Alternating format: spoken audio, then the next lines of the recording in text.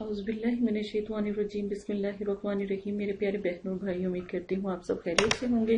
अगर अब तक आपने हमारा चैनल सब्सक्राइब नहीं किया तो जल्दी से हमारे चैनल को सब्सक्राइब कर लें, ताकि आने वाली तमाम वीडियो बसानी आपको मिल सके। अगर आप इस्तखारा करवाना चाहते हैं या हमारी मदद हासिल करना चाहते हैं तो अपनी इस बहन से आप हर बात शेयर कर सकते हैं। इनशाला मेरे से जहाँ तक हो सका मैं अपने भाइयों की, बहनों की जो मजबूर हाल, परेशान हाल लोग हैं, उन सब की मदद करूँगी इनशाला ताला।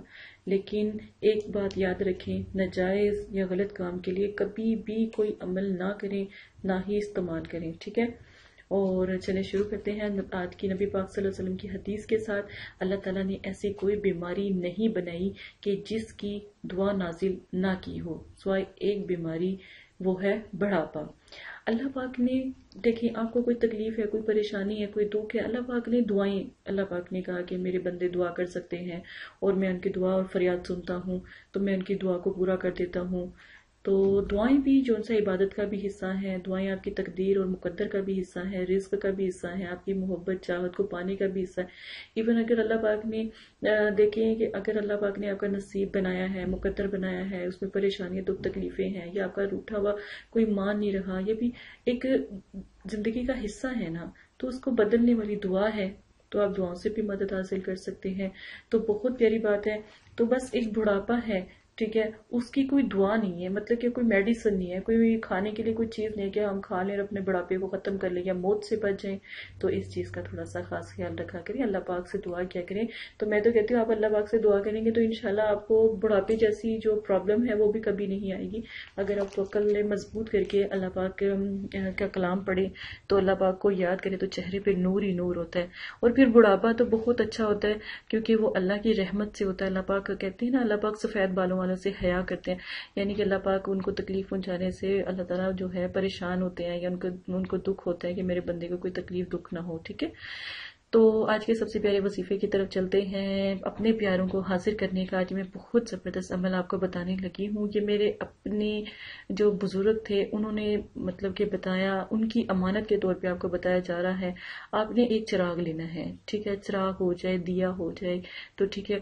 तो अगर जैतून का तेल है तो बहुत नायाब है। अगर जैतून का तेल नहीं है तो फिर सरसों का ले लें, बादाम का, जितने मतलब कि अफोर्डेबल है तो उस तरह का भी आप ले सकते हैं। अब आपने क्या करना है चराग को इतवार वाले दिन आपने जलाना है, पीर वाले दिन जला सकते हैं, इतवार वाले दिन जला सकते हैं, रात के टाइम ईशा के वक्त। अगर आपको चराग नहीं मिलता तो आप कोई बर्तन ले लें, बोल टाइप ले लें, या जैसे होते हैं घर में बोल होते हैं छोटे छोटे स्टील के होते हैं, लोहे के होते हैं, उस तरह का ले लें कोई बर्तन तो उसमें भी आप चराग बनाकर रुई को रुई की जो उसको तेल के अंदर तरबतर करके तो आप उसको जला सकते हैं। ठीक है? तो इस तरह भी कर सकते हैं। अब आपने चिराग सामने रखना है। चिराग सामने रख के कम अज कम आधा घंटा चिराग की लो में देख के एक विद करना है। आप यकीन माने आहिस्ता आहिस्ता आहिस्ता आहिस्ता आप देखेंगे कि चिराग के ऊपर जो आप तस्वुर बांधोगे ना, वो बनने लग जाएगा और आपको वहाँ पे ज़ाहिर होने लग जाएगा। ठीक है?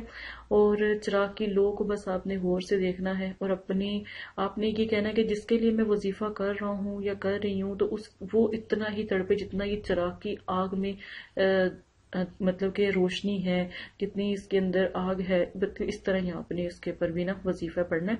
अब वजीफा पढ़ना क्या है? ठीक है? सबसे पहले कम अज कम तैतीस मरतबा द्रूशरीफ तैतीस मरतबा अलहमद शरीफ और तैतीस मरतबा उसके बाद सूर्य खलास पढ़नी है। सूर्य खलास कुल अल्लाह अहद वाली है। वो वाली आप पढ़ के तैतीस मरतबा जो है द्रोशी पढ़ के वजीफे को मुकम्मल करें और इनशाला इनशाला तीन दिन नहीं गुजरेंगे। आप जिस प्यारे के लिए करेंगे, वो हाजिर होगा। एक बात याद रखें, जब भी आप वजीफा करें, दिल से करें और आप यकीन इस किस्म का अपना मुकम्मल करें, कामिल करें कि वो आपके सामने है और आप उसको पुकार आपके सामने ही बैठा हुआ है। ठीक है, बहुत प्यारा वजीफा है और इसी के साथ इजाज़त दें। अपनी इस प्यारी बहन के लिए भी दुआ कर दिया करें। मुझे भी आप लोगों की दुआओं की ज़रूरत होती है, जैसे आप लोगों को होती है। इजाज़त अपना ख्याल रखिएगा। अल्लाह हाफिज।